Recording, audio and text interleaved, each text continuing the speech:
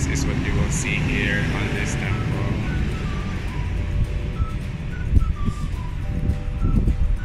It's a small temple in the middle of the city. Okay, let's go inside. Okay, this is what you will see here inside.